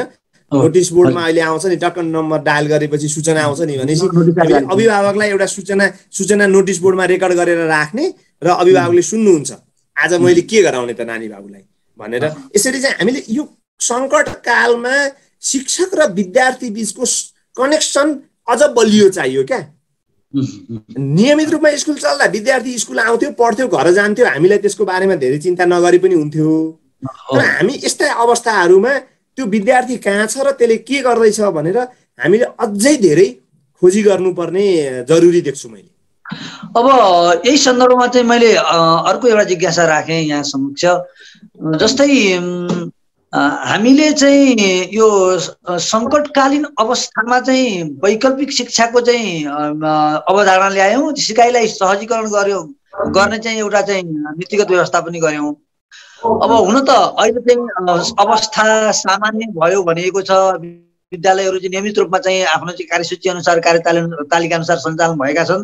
र अहिलेको यो सन्दर्भ चाहिँ हाम्रो अलिकति चाहिँ सन्दर्भ सान्दर्भिक पनि लाग्न सक्ला चाहिँ कुनै सरकारवालाहरूलाई तर पनि एउटा सामान्य अवस्था भएको बेलामा पनि यो चाहिँ सिकाइ चाहिँ वैकल्पिक सिकाइलाई निरन्तरता दिने अवस्था रहन्छ रहँदैन चाहिँ सङ्कटकालको अवस्थाको वैकल्पिक सिकाइ सहजीकरण र अनि सहज अवस्थाको वैकल्पिक सिकाइ सहजीकरण को स्वरूप एउटै हुन्छ कि हुँदैन मैले यो सन्दर्भ किन भनेको भने के वैकल्पिक सिकाइ सहजीकरण भनेको सङ्कटकालको लागि मात्र हो वा सामान्य अवस्थामा पनि नियमित नियमित चाहिँ अभ्यास गर्न सकिन्छ यो जिज्ञासा हामीले अगाडि पनि पूरकको रूपमा बुझौँ यसलाई होइन वैकल्पिकलाई अब हामीले पूरक भनौँ अब यो मजाले सकिन्छ। यो चाहिन्छ पनि हामीलाई। वास्तवमा हामीले गर्न नसकेको हाम्रो एजुकेसन सिस्टममा लर्निङ एचिभमेन्टको कुरा हामीले अगाडि सुरुमा गरेका थियौँ। एउटा सन्दर्भमा सिकाइ उपलब्धि खस्काउँदो छ भन्ने कुरा गरेका थियौँ। यहाँनिर हामीले दुई तिनवटा पार्टलाई हेर्ने हो भने अब यसलाई यसमा सिकिएका केही कुराहरूलाई हामीले निरन्तरता दिन मजाले सकिन्छ। त्यसमा कुनै समस्या छैन। अब एकछिनको लागि हुन त तयारी पनि छ हाम्रो जस्तो छ होइन। अब डेडिकेटेड रूपमा हाम्रा टेलिभिजनहरू हाम्रा रेडियोहरू शैक्षिक च्यानलहरू बन्न सक्छन्। किन भन्दा थुप्रै सामग्री उत्पादन भएको छन्। तिनीहरूलाई हामीले नियमित रूपमा टेलिभिजनहरूबाट नियमित प्रसारण गरिरहने। त्यसमा कतिले हेर्छन् कतिले हेर्दैनन् भन्ने अहिले हाम्रो चिन् चिन्ता गरिरहनु पर्ने विषय भएन। हामीले त्यसलाई गुणस्तरीय बनाउँदै जाने त्यसमा रुचिकर हामीले अहिले भने जस्तो कार्टुनहरू मिसाउँदै जाने होइन? रुचिकर बनाउने हिसाबले र टेलिभिजनलाई हामीले प्रसारण गरिरहन सक्छौँ। रेडियोमा पनि हामीले पाठहरू विकास गरेर प्रसारण गरिने कामलाई कन्टिन्यू गर्न निरन्तर दिन सक्छौँ। जसलाई चाहिँ विद्यार्थीले अझ रेडियोका पाठलाई त मैले के भन्दैछु भने जहाँ जहाँबाट देशभरि जतिवटा रेडियोहरूले पाठ विकास गऱ्यौँ त्यसलाई पब्लिक डोमेनमा कतै राखौँ। आखिर नेपाली भाषाका छन् तिनीहरू। संसारमा कहीँ कसैले कपी गरेर लैजाला भन्नु छैन डाउनलोड गर्न पाइयोस्। होइन? कुनै चितवनको कुनै एफएमले सयवटा कक्षा पढाएको थियो भने अर्को विद्यालयले अब सर्लक्क सयवटा पाठ डाउनलोड गर्न सकोस्। त्यो डाउनलोड गर्यो भने आज एकछिनको लागि तेजेन्द्र सर आज जरुरी काम परेर विद्यालय आउनु भएन। अब त तेजेन्द्र सरको क्लासमा के गर्ने त्यही त्यहाँ रेकर्ड छ नि हामीसँग। ऊ अब रेकर्ड बजाइदिने। अथवा तेजेन्द्र सरले नै बिहान म्यासेज गर्नुहुन्छ म आज विद्यालय आउन पाइनँ। कम्प्युटरको यो ड्राइभभित्र पाठ नम्बर यतिको एउटा अडियो सामग्री छ। कृपया त्यो पाठ कक्षामा बजाइदिनु होला। भन्यो भने आजको क्लास। होइन? अथवा युट्युबमा यस्तो ठाउँमा यस्तो भिडियो छ कृपया कक्षा कोठामा देखाइदिनु होला। त्यसरी पनि चल्यो। अर्को अब दुईजना विद्यार्थी आज विद्यालय आउनु भएन। आज हामीले विद्यालयमा के पढायो त भनेर बेलुका उहाँलाई फोन गर्ने हुनसक्छ फोनैलाई पनि हामीले सबभन्दा बढी त मैले त फोनलाईको फोनको युजलाई बढी देखिरहेको छु। किनभने दुईजना विद्यार्थी आज आएनन् होइन? आज बेलुका एकछिन अथवा दिउँसै पनि अभिभावकलाई फोन गरेर खै त नानी बाबुहरू आजै विद्यालय आएनन्? के भयो? बिरामी भए? अथवा केही जरुरी पर्यो? ए ल बेलुका चार बजेपछि सम्बन्धित शिक्षकलाई फोन गरेर अथवा सम्बन्धित शिक्षकले फोन गरेर आज भएको पढाइको बारेमा छोटो कुरा गरौँ। अथवा आज हामीले के काम गर्न दिएका छौँ? बाबु आज मैले नेपाली विषयको पाठ सोह्र पढाएँ। त्यहाँ दुईवटा अभ्यास छन्। तिमीले दुईवटा अभ्यास गर्नु। नजानेको भोलि म तिमीलाई सिकाउँला। भन्न पाइयोस्। होइन? अथवा तिमीले त्यो अभ्यास गर्दै गर। जानेनौ भने मलाई यति बजे एउटा हुन त शिक्षकको पनि व्यक्तिगत समय त हुन्छ तर त्यसलाई हामीले एउटा डेडिकेटेड समय छुट्याउन सक्छौँ। जस्तै साढे छदेखि सात बजीसम्म साढे छदेखि सातसम्म सात पछि होइन छ बजेभन्दा पहिला पनि होइन साढे छदेखि सातसम्म मलाई तिमीले फोन गर न म तिमीलाई भनिदिन्छु। होइन? अथवा अब कक्षा कोठामा पढाइरहेका पाठहरूलाई पनि रेकर्ड गरेर सर मेरो हिजो पाठ छुट्यो यो मेरो पेनड्राइभमा राखिदिनु न। अथवा मेरो यो म्यासेन्जर ग्रुप बनाएको छौँ हामीले। म्यासेन्जर ग्रुपमै त्यही अडियो सामग्री हिजो कक्षामा पढाएको चिजलाई राख्न सकियो। यसलाई त सबै चिजहरूलाई हामीले पूरक सामग्रीको रूपमा विकास गरेर यसलाई चाहिँ शिक्षण सिकाइलाई शिक्षण सिकाइको सन्दर्भमा जुन हामी विद्यार्थीलाई लर्निङ एचिभमेन्ट हासिल गराउनका लागि हामी जुन सफल भइरहेका छैनौँ अथवा हामीले अपेक्षित मात्रामा सफलता हासिल गरेका छैनौँ त्यसलाई यो पूरक सबै वैकल्पिक सिकाइमा हामीले गरेका सबै कामलाई यसलाई मेन स्ट्रिममा ल्याएर यसलाई चाहिँ हामीले पूरकको रूपमा अगाडि बढाउन मजाले सकिन्छ र जति हामी त्यतातिर लाग्न सक्छौँ यसले हामीलाई सहज नै बनाउँछ भन्ने लाग्छ मलाई। अब अब हामी करिब कार्यक्रमको चाहिँ अन्त्यमा छौँ। अब एउटा मुख्य समस्या भनेको चाहिँ नीतिगत समस्या पनि छ। अहिले हामीले चाहिँ पूरक शिक्षण भनौँ अब यसलाई। पूरक चाहिँ सिकाइको पद्धति भनौँ अब। यो भनेको चाहिँ सिकाइ यो सङ्कटकाल अगाडि पूरक पद्धतिको चाहिँ खासै अवधारणाहरू चाहिँ अवधारणा चाहिँ बनिसकेको थिएन। त्यसको बारेमा चाहिँ हामी चाहिँ सोचिरहेका पनि थिएनौँ। अब यो चाहिँ सङ्कटले हाम्रो शिक्षण सिकाइलाई समग्र शिक्षण शिक्षण पद्धतिलाई नै परिवर्तन गर्नुपर्ने हुन्छ सिकाइ पद्धतिलाई नै परिवर्तन गर्नुपर्ने हुन्छ। त्यसको निमित्त केही नीतिगत व्यवस्था पनि हुनुपर्ने हुन्छ र सम्बन्धित सरकारवाला पक्षहरूको प्रतिबद्धताको नै आवश्यकता पर्छ स्रोत र साधनहरूको नै आवश्यकता पर्छ। हाम्रो चाहिँ शिक्षक र चाहिँ अभिभावकहरूको सक्षमताको पनि आवश्यकता पर्छ। थुप्रै आवश्यक पर्ने कुराहरू छन् होइन? थुप्रै आवश्यक पर्ने कुराहरू छन्। त्यसमध्ये राज्यको तर्फबाट यो चाहिँ वैकल्पिक सिकाइको अथवा पूरक सिकाइको लागि आवश्यक पर्ने नीतिगत वर्तमान अवस्था कस्तो छ? नीतिगत व्यवस्था हामीले कस्तो के गरे गरेका छौँ?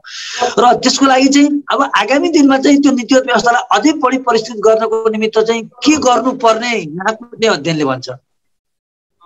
यसलाई दुईटा दुईटा उसबाट हेरौँ होला सर है। अब एउटा हामीले वैकल्पिक सिकाइका जति पनि विधि छन् त्यसलाई पूरक रूपमा प्रयोग गर्नलाई कुनै खास सरकारको तर्फबाट पोलिसीमै आउनुपर्ने भन्ने पनि त्यस्तो जरुरी नहोला।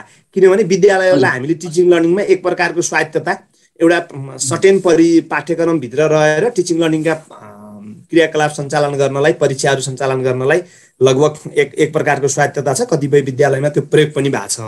अब खालि राज्यका तर्फबाट त अथवा सरकारका तर्फबाट भनौँ यसलाई हामीले यता अथवा स्टेटले गर्नुपर्ने काम भनेको अलि अगाडि पनि हामीले दुइटा काम गऱ्यौँ दुइटा चिज होइन। एउटा चाहिँ इन्भेस्ट इन टिचर मैले चाहिँ यो भन्छु शिक्षकमा पहिला लगानी गरौँ। शिक्षक आवश्यक सङ्ख्यामा शिक्षक पनि चाहियो हामीलाई क्षमता सहितको र मोटिभेटेड टिचर पनि चाहिएको छ र प्रोफेसनल कमिटेड टिचर पनि चाहिएको छ हामीलाई तिनवटा चिज चाहिएको छ। क्षमता पनि चाहिएको छ त्यो आवश्यक सङ्ख्यामा पनि चाहिएको छ। र त्यो मोटिभेटेड पनि हुनु परेको छ त्यसलाई मोटिभेट पनि चाहिएको छ र त्यसलाई प्रोफेसनमा कमिटेड पनि गराउनु परेको छ फेरि यो अर्को चिज रहेछ होइन?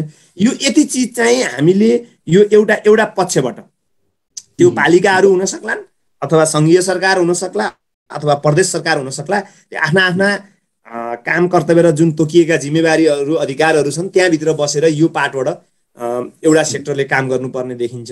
र फन्डिङको ग्याप अहिले पनि हामीसँग थुप्रै छ होइन? अहिले पनि हामीसँग रिसोर्सको अभाव छ। रिसोर्सको मोबिलाइज गर्नलाई यहाँबाट हामीले सुरु गरेपछि अब त्यहाँ त्यो शिक्षक वर्ग शिक्षकहरूको जो हुनुहुन्छ उहाँहरूले पनि आफ्नै ढङ्गले एउटा दुईवटा चिज हुँदो रहेछ त्यहाँ। एउटा अर्काले गरिदिने क्यापासिटी डेभलपमेन्ट एउटा आफैले गर्ने सेल्फ क्यापासिटी होइन? एकछिनको लागि सरले यो जुमहरू चलाउनुहुन्छ भिडियो एडिटहरू गर्नुहुन्छ यो यो सबै काम कसैले सिस्टमले गरिदिएको क्षमता विकास होइन भन्छु मैले मैले बुझ्दा तर सबैले यो गर्न सक्छ नि त भन्दा सबैले यो गर्न सक्दैनन्। त्यसो भए के त भन्दा सबैलाई यो गर्न उनीहरूको आफ्नो अवस्था अनुसारको मिनिमम। होइन भिडियो एडिट गर्नुपर्ने प्रोफेसनल हामीलाई चाहिएको छैन होइन? एकदमै राम्रो भिडियो एडिट गरेर व्यावसायिक भिडियो बनाउनु पर्ने छैन। तर एउटा मिनिमम लेभलमा होइन? सामान्यतया एउटा सिप हामीले दिनुपर्ने छ भने विद्यालयको तर्फबाट संस्थागत मैले हामीले अहिले पनि भने सामूहिक जिम्मेवारीको रूपमा यसलाई ग्रहण गर्नु पर्यो। ल हाम्रा विद्यालयका अनलाइन सिस्टमहरू के हुन्? गुगल क्लासहरू कसरी चलाउने?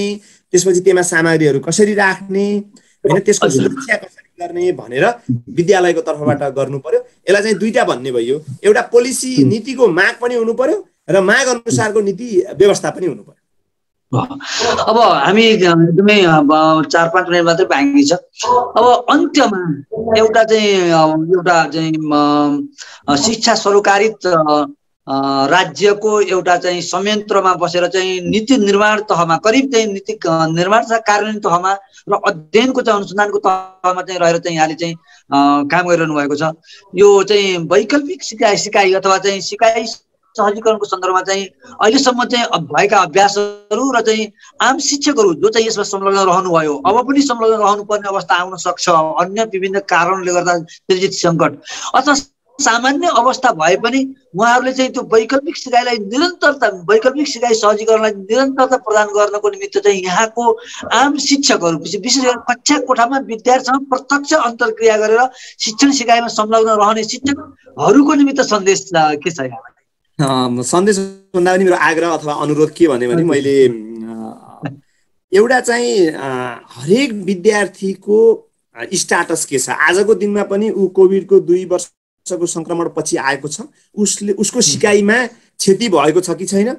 उसको सिकाइको स्ट्याटस उस्तै छ अथवा उसको सिकाइको अवस्था सुधार भएको छ भन्ने एउटा एउटा पाटोबाट हामी आम शिक्षकले कक्षा कोठामा एउटा पहिचान गर्नुपर्ने विषय।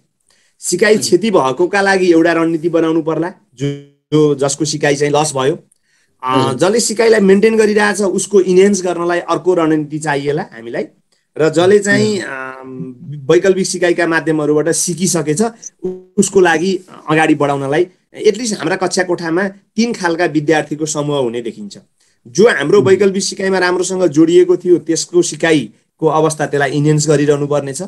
जो सिकाइमा वैकल्पिक सिकाइमा सामान्य रूपमा जोडियो तर उसको सिकाइ स्ट्याटस सामान्य अवस्थाको छ त्यसलाई अगाडि लैजानु छ। र जसले सिकाइमा क्षति नै गर्यो जो वैकल्पिक सिकाइमा आउन सकेन उसलाई चाहिँ हामीले कसरी उसको सिकाइलाई माथि ल्याउने हो भनेर एउटा चिन्तन हामी त्यहाँ त्यहाँनिरबाट हामीले चिन्तन गर्नुपर्ने एउटा जरुरी छ भने।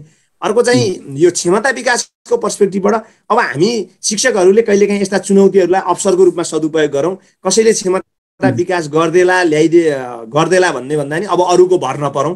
हुनसक्छ। भए राम्रो तर हामी आफै पनि एउटा क्षमता विकास गरेर यसलाई चाहिँ हामीले अवसरको रूपमा सदुपयोग गर्नका लागि हामी कहाँ के गर्न सक्छौँ? धेरै छौँ यस्ता सर्कलहरू धेरै छन्। यसमा विभिन्न सर्कलहरूमा जोडिएर पेसागत समूहहरूमा जोडिएर पेसागत क्षमता विकासका अभियानहरूमा केही अभियान चलेका छन् तिनीहरूलाई निरन्तरता दिउँ र अझै त्यसलाई इन्हेन्स गर्दै लैजाउँ भन्ने अनुरोध गर्छु। हस् धन्यवाद। यहाँ कार्यक्रम शैक्षिक दर्पणको निमित्त हाम्रो आग्रहलाई स्वीकार गरेर यहाँका चाहिँ कार्य गरेको चाहिँ काम गर्दाका चाहिँ विभिन्न अनुभवहरू सरकारी पक्षहरूलाई चाहिँ सेयर गर्ने चाहिँ एउटा अवसर प्रदान गर्नुभयो हामीसँग जोडिदिनु भयो। यहाँको चाहिँ महत्त्वपूर्ण अनुभवहरू चाहिँ सेयर गर्ने चाहिँ एउटा चाहिँ अवसर मैले प्राप्त गरेँ।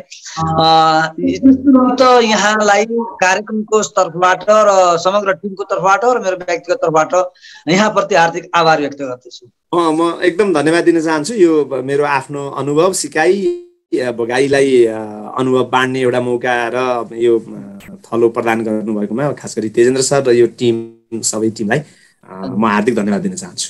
हजुर। हस् आदरणीय श्रोता तथा दर्शक महानुभावहरू आज आदरणीय देवीराम आचार्य सरसँग उहाँका अनुभवहरूमा वैकल्पिक सिकाइ सहजीकरणका विगतका अभ्यास र आगामी दिनमा गर्नुपर्ने कामहरूको सन्दर्भमा चाहिँ चर्चा परिचर्चा गऱ्यौँ। यहाँहरू पनि अहिलेसम्म चाहिँ साथमा रहिदिनु भयो र कार्यक्रम श्रवण गरिदिनु भयो कार्यक्रम हेरिदिनु भयो र यस्तो सबैप्रति हार्दिक आभार र कार्यक्रम पुगिसकेपछि कार्यक्रम सन्दर्भमा चाहिँ यहाँलाई लाग्ने टिप्पणीहरू पक्कै पनि यही यही सामाजिक सञ्जाल मार्फत चाहिँ सम्प्रेषण गर्नुहुनेछ र चाहिँ आगामी दिनहरूमा चाहिँ हाम्रो कार्यक्रमलाई अझै परिष्कृत बनाउनुको निमित्त यहाँका महत्त्वपूर्ण सुझावहरू चाहिँ सधैँ ग्राही रहने नै छन्। यति भन्दै अर्को दिन फेरि अर्को कुनै विषयमा एकजना विज्ञसँग चाहिँ यहाँहरूलाई भेट गराउने बाचाका साथ आजको यो कार्यक्रम सम्पन्न गर्न अनुमति चाहन्छु। हस्त नमस्कार धन्यवाद। सर ल नमस्कार।